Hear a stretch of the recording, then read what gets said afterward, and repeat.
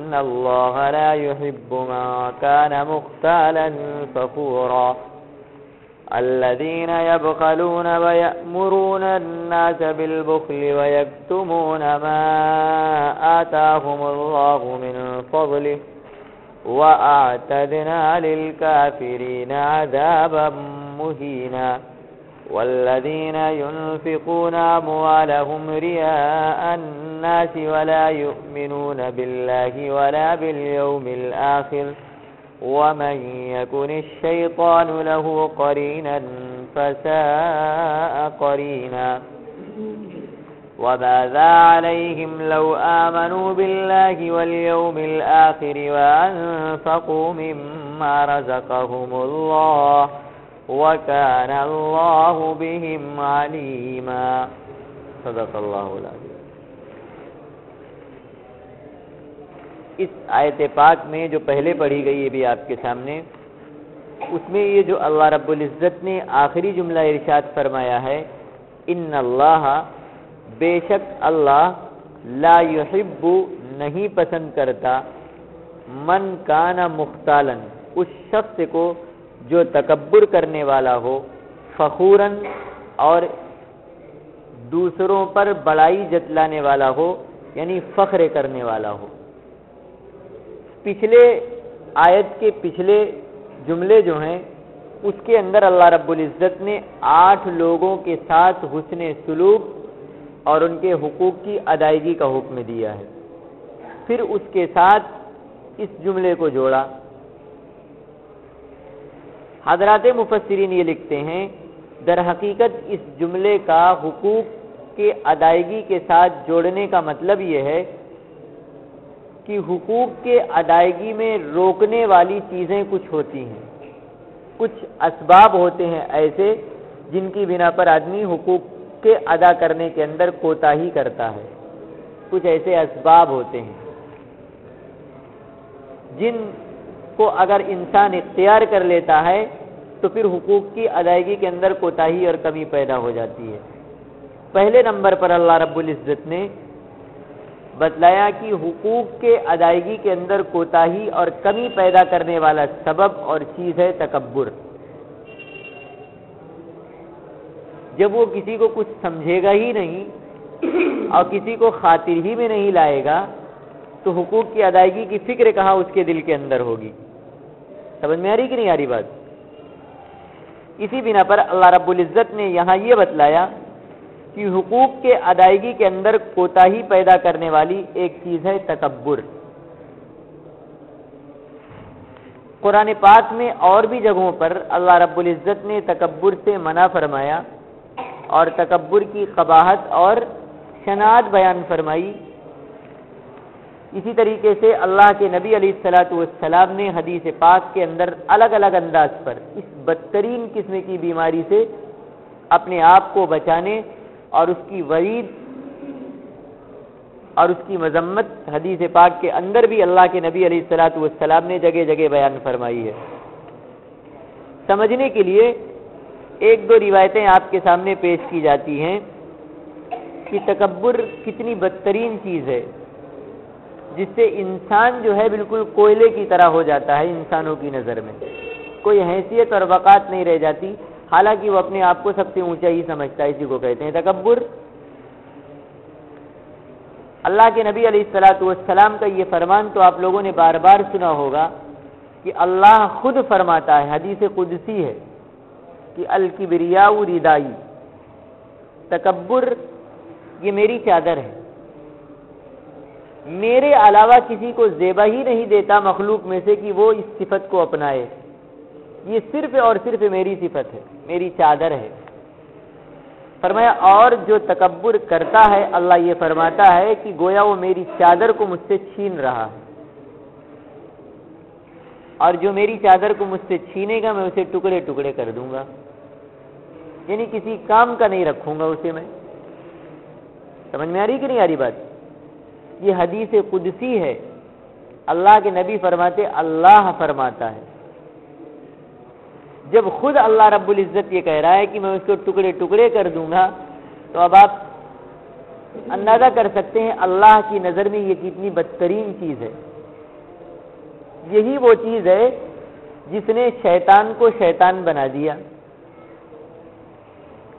अल्लाह ने हुक्म दिया, भाई, सजदा कर ले तू आदम का। अब वहाँ ये कि, भाई, मैं तो आग से पैदा हुआ हूँ और आदम को मिट्टी से आपने बनाया है, आग आला होती है और मिट्टी अदना होती है। तो आला को क्यों हुक्म हो रहा है अदना को सजदा करने के लिए? तो अदना को होना चाहिए कि वह आला को सजदा करे। पूरी ज़िंदगी के लिए क्या बना दिया? मरदूद बना दिया उसको। जबकि एक मकाम इतना ऊँचा रखा था था तो जिन्नातों में से आग से पैदा हुआ। लेकिन मला रूसुल मलाइका, ताउसुल मलाइका, मुअल्लिमुल मलाइका कहलाता था। फरिश्तों का सरदार बना बैठा था। लेकिन एक तकबर ने क्या किया? सारी चीज़ों पर पानी फेर दिया, मलिया मेट कर दिया। कहीं का रहा?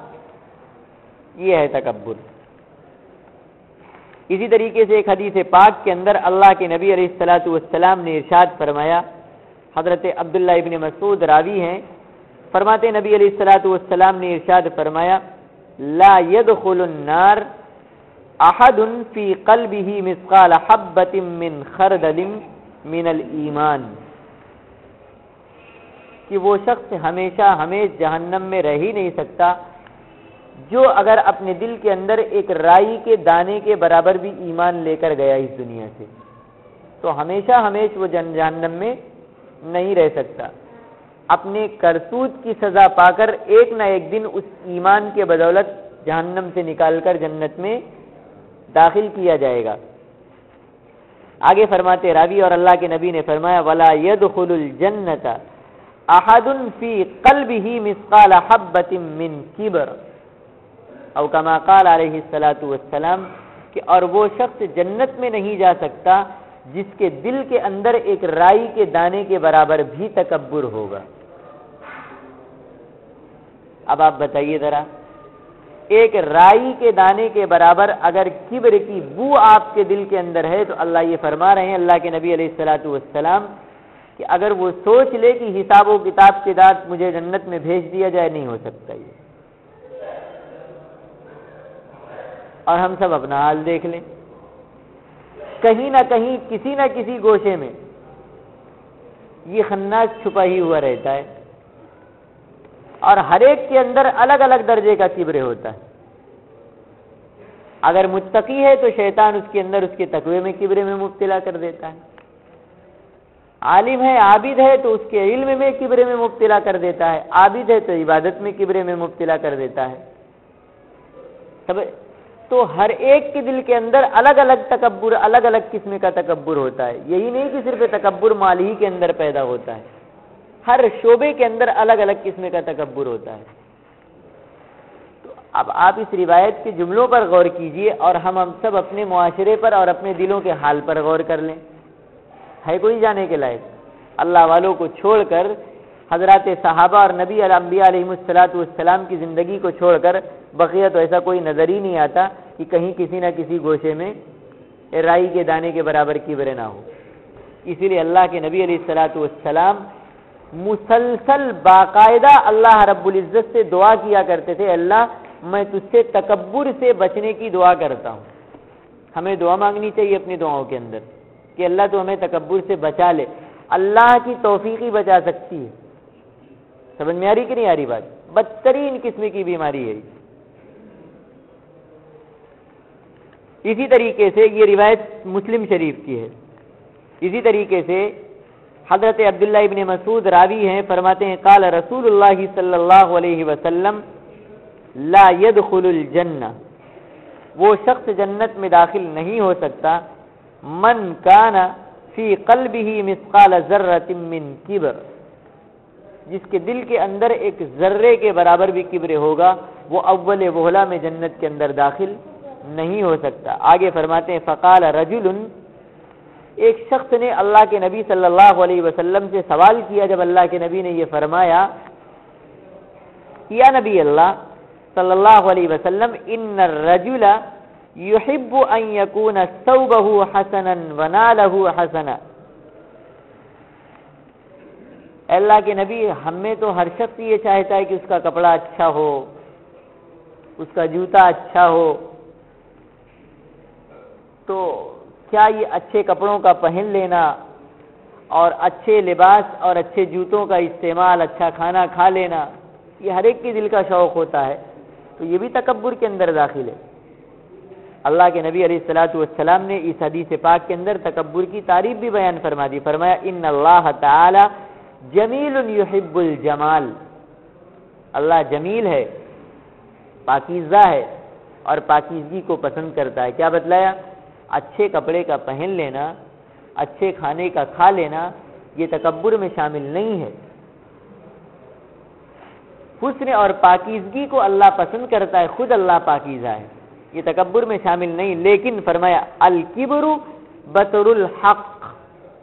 तकबर कहते हैं, हक सामने आने के बाद भी उसको रद्द कर देना, उसको कबूल ना करना। हक सामने आने के बाद भी उसको धुतकार देना। यह है तकबर और फरमाता वगामतन नास। और लोगों को जलील समझना यह है तकबर इसके अंदर तकबर की तारीफ़ भी अल्लाह के नबी ने बयान फरमाई। हक को रद्द करना यह तकबर लोगों को अपने से कमतर समझना, जलील समझना यह है तकबर एक बुज़ुर्ग मिसाल दिया करते थे तकबर की कि ऐसे ही है जैसे एक शख्स पहाड़ की चोटी पर चढ़ जाए, ऊंचाई पर बिल्कुल तो उसको नीचे के सारे लोग कितने बड़े नज़र आएँगे? छोटे ही नज़र आएँगे। और नीचे जितने लोग हैं, उस ऊपर चढ़े हुए को क्या नज़र आएँगे नीचे वाले लोगों को? ऊपर चढ़ा हुआ सब छोटा तो तकबर करने वाले की मिसाल ऐसी, जैसे ऊपर चढ़ा हुआ है, वो सारे लोगों को अपने से नीचे छोटा समझ रहा है और सोच रहा है, मैं ही सबसे बड़ा। और नीचे समझने वाले सारे लोग उसको छोटा समझ रहे हैं। तो बस तकबर करने वाले की मिसाल यही है। सारी दुनिया की नज़र में तो अपने आप को बड़ा समझता है, ऊँचा दिखाने की कोशिश करता है, लेकिन ये तकबर जो है ना, ये उसको सारे लोगों की नज़र में जलील बना देती। ये मिसाल दिया करते थे। फरमाया कहते थे, लोग कह देते, साहब, मेरा दिल तो साफ़ है। मेरे दिल के अंदर तकबर और किब्र नहीं है। फरमाया, ऐसे नहीं चलेगा काम। फरमाते थे, कब समझ में आएगा जब चावल पकने के लिए रखा जाता है तो जब पकने लगता है तो उछलता है वो। है ना? आवाज़ आती है उसके अंदर। फरमाए चाहे जितना अच्छा चावल हो वो कब अच्छा लगेगा जब उछलेगा जब तक जब तक कूदेगा और आवाज़ करेगा ना। फरमाया, चावल के अंदर चावल होने की कैफियत उसी वक्त पैदा होती है जब चावल उसको कहा जाएगा, जबकि पक कर उसका दम निकाल दिया जाए। पकाने के बाद, थोड़ी देर के बाद बिल्कुल धीमी आँच पर रख देते, कहे, क्या कहे, दम पे रखा है? जब दम निकल जाता है और बिल्कुल पक कर तैयार हो जाता है, तब चुपचाप एकदम पड़ जाता है। समझ में आई कि नहीं आई बात? फरमाया, जब ये कैफियत पैदा हो जाए, तब समझ लेना कि तकबर नहीं है। और जब तक उछल कूद रहे हो और पकने के अंदर आवाज़ पैदा हो रही है, समझ लो अभी कच्चे हो, अभी पके हुए नहीं हो, दम निकालो, तब तकबर खत्म होगा। ये मिसाल दिया करते थे हज़रत। पर मैं कहने से काम नहीं चलेगा। ऐसी पोजीशन पे ले आओ, जैसे चावल का दम निकाल दिया जाए, चावल हो जाता है, तब उसके अंदर खुशबू पैदा होती है। तब वो खाने के लायक होता है। अगर इंसान बनना चाहते तो दम निकले हुए चावल की तरह बना लो अपने आप। समझ में आई बात? अल्लाह के नबी का फरमान है, मन तवाजा रफाहुल्ला अपने आप को ऊँचा करके कोई ऊँचा नहीं बनता। जो अल्लाह के लिए अपने आप को नीचे झुकाता है, ये अल्लाह की शान है कि अल्लाह रब्बुल इज़्ज़त खुद उसको ऊपर उठा देता है। फलदार शाख हो तो लटकती ज़रूर है। अगर आपके अंदर वाकता कुछ अंदर से भरा हुआ है तो झुके हुए नज़र आओगे आप। एक शायर अपने शेर के अंदर कहता है, इसी तकबर और अपने आप को नीचा झुकाने से कैसे? फरमाता है, शायर कहता है कि, तवाजो का तरीका लो, सीख लो लोगों सुराही से। तवाजो का तरीका सीख लो लोगों सुराही से। गर्दन भी झुकी है और फैज भी जारी है। एक मटके के अंदर सुराही में पानी भर दिया जाए तो उसको लोग क्या करते हैं? टेढ़ा कर करके पानी निकालते हैं। तो मतलब सबको सैराब भी कर रही और अपनी गर्दन भी झुका रही है गिलास के सामने। समझ में आ रही कि नहीं आ रही बात? ये उसके अंदर मिसाल दिया उसने। तो अल्लाह के नबी ने फरमाया, कि मन तवाज़ाल्लाह जिसने अल्लाह के लिए अपने आप को पस्त किया, अल्लाह उसको सर बुलंद कर देगा। अपने आप को बुलंद करने से कोई बुलंद नहीं हो जाता है। और इसी तरीके से और भी अल्लाह के नबी सलाम के फरमात तवाज़ों के बारे में है। और हमारे बुज़ुर्गों ने क्या नमूना पेश किया है, उसके वाकत किसी और आयत के ज़िम्ने में इंशाल्लाह आपके सामने आएँगे। अल्लाह रब्बुल इज़्ज़त ने इस आयत पाक के अंदर ये फरमाया कि तकबर एक ऐसी चीज़ है और एक ऐसा सबब है जो इंसान को लोगों के हुकूक के अदा करने के अंदर रोक देता है। हुकूक के अंदर कोताही पैदा हो जाती इस तकबर की बिना पर, और तकबर पैदा करने वाला अपने दिल के अंदर इस कोताही में मुब्तला हो जाता है। इसलिए हुकूक की अदायगी अगर आपको मतलूब है तो अपने आप को तकबर से बचाना होगा। बात समझ में आई? अब अगली आयत का तर्जमा देखिए। अल्लाह फरमाता है अल्लदीना वो लोग यब खलूना जो बुखले करते हैं। वयामरून नाच और हुक्म देते हैं लोगों को, बिल बुखल बुखले का वयकतुमूना, और छुपाते हैं।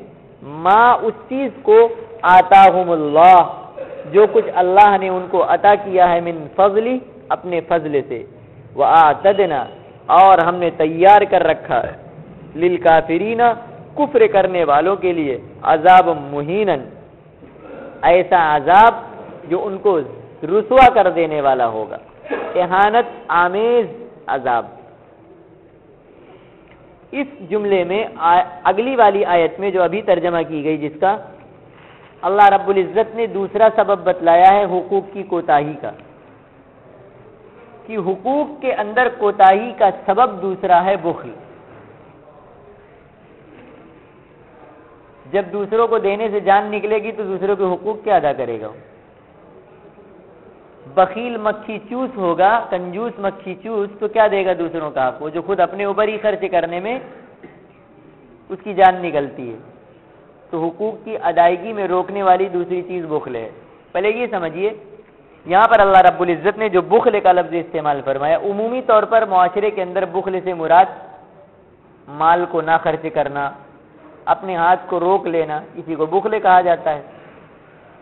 लेकिन इस आयत का शान नजूल जो हदीस तफसीर की किताबों के अंदर मनकूल है, उससे मुराद, उससे पता ये चलता है कि यहाँ पर बुखले का लफ्ज, बुखले बिलमाल और बुखले फिल इल्म दोनों में शामिल हज़रत अब्दुल्ला इबन अब्बास रज़ी अल्लाह तु फरमाते इस आयत का नजूल जो है, वो मदीने के यहूदियों के बारे में हुआ है। फरमाते हैं, वो इंतहाई दर्जे के मगरूर थे। और इंतहाई दर्जे के कंजूस कौन? यहूदी। इंतहाई दर्जे के मगरूर और इंतहाई दर्जे के कंजूस। बिल्कुल खर्च करने का तो कोई उनके अंदर मादा ही नहीं था। ये तो माली बुखले उनके अंदर। और फरमाया करते थे, वैसे ही अपने इल्म के अंदर भी बुखले किया करते थे। अल्लाह के नबी अली सलाम की बेसत आप आखिरी नबी बनकर आएँगे। इसकी खबर तौरेत के अंदर और आपकी अलामतें पूरे जिस्म का हुलिया तौरेत के अंदर बयान कर दिया गया था। हुलिया ही तो छोड़ो, आपके साहब इकराम के हुलिये भी बयान कर दिए गए थे तौरेत के अंदर। अल्लाह के नबी अली सलाम की ज़िंदगी उनके सामने बिल्कुल आईने की तरह साफ़ और शफाफ थी कि अल्लाह का नबी है। लेकिन इस हक आने के बावजूद इस पर यकीन था कि अल्लाह का नबी, उन्होंने माना? इतने नहीं कि माना नहीं। दूसरे ये कि उसको छुपाया। अगर कोई अलामत ऐसी लिखी थी कि आपके बाल घुंघरियाले होंगे तो वहाँ कर दिया। आपके बाल सीधे होंगे। समझ में आ रही कि नहीं आ रही बात? अल्लाह फरमाता है कि बुखले में भी माल माल में भी बुखले किया करते थे और इल्म में भी बुखले किया करते थे। तो शान नजूल के एतबार से बुखले फिल माल और बुखले फिल इल्म, दोनों को यह आयत शामिल है। अब फरमाया, हुकूक की कोताही में वो शख्स भी मुब्तला होता है जो बुखले के अंदर मुब्तला होता है। अल्लाह के नबी सलाम ने इन्फाक की फजीलत, यानी खर्च करने की फजीलत और बुखले से बचने और बुखले की मजम्मत भी हदीस पाक के अंदर अलग अलग अंदाज में बयान फरमाई है। दो तीन रिवायतें समझने के लिए। हज़रत अबू हुरैरा रदी अल्लाह तु रावी हैं। फरमाते अल्लाह के नबी सलाम ने इरशाद फरमाया, काल रसूल सल्लल्लाहु मामिन योमिन यसबहुल इबादु फीही इल्ला मलकानी यंजिलान। हर सुबह को अल्लाह की तरफ़ से दो फरिश्ते आसमान से ज़मीन पर उतरते हैं। फयकूल, बस उनमें का एक ये ऐलान करता है और ये कहता है अल्लाह आती मुनफिकन खलफा अल्लाह, अपने रास्ते में खर्च करने वालों को तू बेहतरीन इवज अता फरमा। अल्लाह आती मुनफिकन खलफा, और वयकूल आखर, और दूसरा फरिश्ता इस तरीके से ऐलान करता है दुआ करता है अल्लाह आती मुमसिकन सल्फा। अल्लाह तो अपने रास्ते में खर्च न करने वाले को, रोकने वाले के माल पर हलाकत और तबाही उतार दे। समझ में आ रही कि नहीं आ रही बात? इन्फाक की फजीलत और बुखल की मजम्मत। बाकायदा दो फरिश्ते उतरकर उसके लिए दुआ करते हैं और बद दुआ करते हैं। एक के लिए बद दुआ है और एक के लिए दुआ है। ये रिवायत बुखारी और मुस्लिम दोनों के अंदर है। इसी तरीके से हज़रत असमा रावी हैं, फरमाती हैं, काला रसूल सल्लल्लाहु अलैहि वसल्लम अनफिकी। अल्लाह के नबी ने फरमाया, असमा, खर्च कर। वला तुहसी फयुहसिल्लाहु अलैहि गिन गिन कर मत खर्च कर कि अल्लाह तेरे भी गिन गिन कर देगा फिर। वला तुहसी फयुहसिल्लाहु अलैहि वला तुई फयुई अल्लाह और तू हिफाजत मत बरत खर्च करने के अंदर कि अल्लाह भी तेरे ऊपर खर्च करने से हिफाजत बरतने लगे। वर्जी मस्तात उम्म सलमा, अल्लाह ने जितना तुझे इस्तात दिया है, जितनी ताकत और कुदरत तेरे अंदर, उतना तू खर्च कर। समझ में आ रही कि नहीं आ रही बात? ये रिवायत भी बुखारी और मुस्लिम दोनों के अंदर मौजूद है। बाज आदमी बड़ा वकील हो। हमारे एक बुज़ुर्ग फरमाया करते थे, एक वकील था, वो इतना दर्जे का वकील था, एक वाकया सुनाया करते थे, लतीफ़े किस्म का तो एक मरतबा मस्जिद के लिए निकला घर से नमाज़ पढ़ने के लिए। अभी थोड़ी ही देर गुजरे थे कि वापस आ गया। और बाहर दरवाजे से ही चिल्ला रहा है, बेगम बेगम बेगम। उसकी बीवी ने सुना, भाई, क्या बात है अभी तो तू नमाज़ पढ़ने गया था, क्या आधे रास्ते से वापस चला है क्या? एक लतीफा सुनाते थे बुखले पर, कि लगे, नहीं बेगम, नियत तो बाँध लिया था मैंने, नियत तोड़ के आ रहा हूँ। तूने नियत क्यों तोड़ दिया? कि लगे, वो सोचा कि चराग जलता हुआ ही छोड़ आया हूँ। अभी पूरी नमाज़ पढ़ के जाऊँगा तो उतनी देर तक न जाने, कितना तेल जल जाएगा तो नियत तोड़ के आ रहा हूँ। अच्छा ये बात अंदर भी तो आगे कह सकते थे। कि लगे, दरवाज़ा खोलता और फिर बंद करता तो दरवाजे की चूल घिसती ना, इसीलिए बाहर ही से कह रहा हूँ। चले अच्छा दरवाजे की इतनी फ़िक्र और शराब की इतनी फ़िक्र कि नियत तोड़ के चले आए। अरे, गए हो और फिर आए हो, फिर जाओगे, फिर आओगे, चप्पल नहीं घसी। सोल नहीं घसा करने का बेगम देख हाथ में है चप्पल। तो फरमाया, बाजा आदमी इतने दर्जे का वकील होता है। हज़रत मौलाना हक्कानी साहब कहा करते थे, अल्लाह रब्बुल इज़्ज़त ने आयत पाक के अंदर ये फरमाया, ये तो बुखले करते ही करते हैं। दूसरों को भी हुक्म देते हैं बुखले का। तो इस पर एक वाकया सुनाया करते थे कि बकील की तीन किस्में हैं। लिखा कि हमारे यूपी वगैरह के अंदर ये जो हिंदू मज़हब के मानने वाले हैं, इनके कुछ त्यौहार ऐसे होते हैं जिसमें ये तमाशे दिखाया करते हैं खेल। पूरी पूरी रात तो ऐसे कहीं एक खेल दिखा रहे थे। उसके अंदर एक बनिया भी खड़ा खेल देख रहा था तमाशा अब वो क्या करते, खेल दिखा दे खाते बीच में थोड़ी देर रोक के फिर पैसे मांगते हैं। कोई चार आना डाल दिया, कोई आठ आना डाल दिया, कोई एक रुपया डाल दिया। तो कहले, एक बनिया खड़ा था, उसको खेल बड़ा पसंद आ गया। वो कहने लगा, एक भैंस दूँगा इनाम। अब वो तो खुशी के मारे नाचने लगे, कहाँ चार आठ आना, कहाँ पाँच हज़ार की भैंस मिल गई। और एकदम दिन मन से लगाना, खेल दिखाना शुरू कर दिया। थोड़ी देर के बाद फिर मांगना शुरू किया तो वो खुश होकर मजीद कह दिया, दो भैंस दे दूँगा, जो मेरे पास हैं दोनों। अब तो वो और मगन हो गए एक बन। और अच्छाई से खेल दिखाने लगे। उनके बाजू में एक दूसरा बनिया खड़ा था। उस बनिए के बाजू में कहने लगा, बताओ, ये चार आने के आदमी तुम इनको दो भैंस दोगे? इनका तो दिमाग खराब हो जाएगा। तो क्या करें? अब तो मैंने ऐलान कर दिया, वादा कर लिया। कहने लगे वादे से क्या फ़र्क पड़ता है? वादे से मुकर जा। कैसे मुकरेंगे कह देना आपकी जब रोके ना खेल मांगने के लिए तो कह देना पूरी गाँव की भैंस देंगे। फिनान से जब फिर मांगना शुरू किया, कहने लगे, अब की तो पूरी गाँव की भैंस हम तुमको दे देंगे? वो भी समझ गए कि क्यों ना लगा दिया इसने हमको। तो फरमाया, बकील की तीन किस्में, एक तो वो है, जो खुद अपने लिए तो करता है, लेकिन दूसरों को नहीं देता। और दूसरी किस्म वो है जो ना अपने ही ऊपर खर्च करता है और न दूसरे के ऊपर, और फरमाया तीसरा वो होता है जो ना अपने ऊपर खर्च करता है, न दूसरे पर, और अगर दूसरा कोई दे रहा है तो उसको भी रोक देता है। तो ये बनिया तीसरे किस्म का बकील था। तो इस आयत की उसमें फरमाया करते थे, अल्लाह ने फरमाया कि खुद तो बुखले करते ही है, और दूसरों को भी रोकते पता ये चला कि यहूद मदीना ये तीसरे किस्म के वकील थे।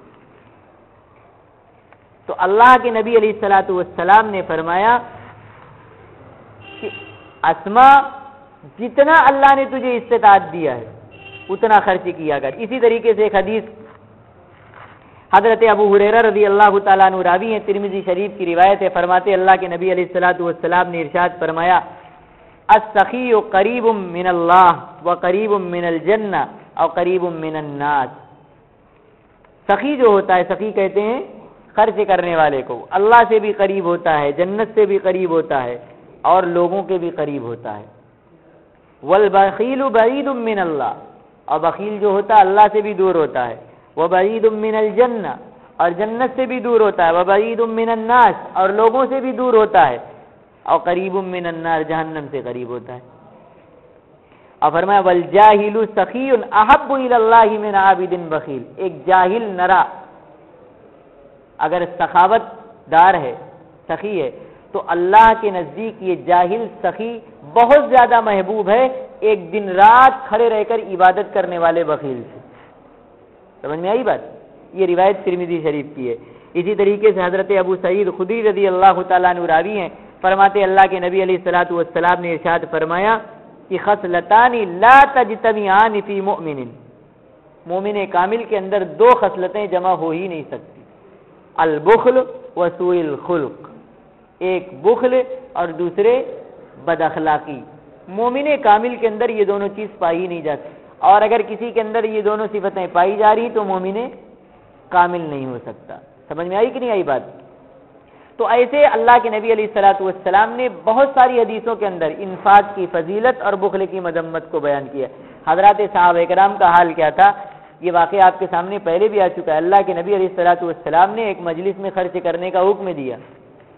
एक सहाबी ऐसे भी थे जिनके पास कुछ भी नहीं था। कुछ भी नहीं था। एक सहाबी ऐसे थे कि जिनके पास खजूर की छाल थी, वो ले आए। अल्लाह के नबी ने उसे भी कबूल कर लिया। और एक साहब से कुछ भी नहीं था। कहने के नबी अल्लाह, मेरे पास तो कुछ भी नहीं। मैं अपनी इज़्ज़त और अपनी आबरू को अल्लाह के रास्ते में खर्च करता हूँ। आज के बाद मुझे चाहे कोई कितना भी बुरा कह ले जाए, मैं बुरा नहीं मानू अपनी इज़्ज़त को मैं अल्लाह के रास्ते में खर्च कर, जज्बा देखिए खर्च करने का। समझ में आ रही कि नहीं आ रही बात? कुछ नहीं तो अपनी इज़्ज़त और आबरू को भी अल्लाह के रास्ते में खर्च कर दिया। तो ऐसी इंफाक की फजीलत और बुखले की मजम्मत अल्लाह रब्बुल इज़्ज़त ने कुरान पाक के अंदर, नबी सलाम ने हदीस पाक के अंदर जगह जगह बयान फरमाई। और अल्लाह ने यहाँ पर यह फरमाया कि हुकूक के अदायगी के अंदर कोताही पैदा करने वाली एक चीज़ तकबर के साथ साथ बुखल भी होती है कि जब खुद जान निकलेगी खर्च करने पर तो दूसरों के हकूक़ क्या अदा करेगा? कुरान पाक की अल्लाह सही सबन नसीब फरमाए और उस पर कमा अमल की तोफ़ी अदा फरमाए। अल्लाह सईदना व शफ़ीना व हबीबना व मौलाना मोहम्मद वाला आल सईदना व मौलाना मोहम्मद वबारक वसलम रबना आतना फ़िद्दुनिया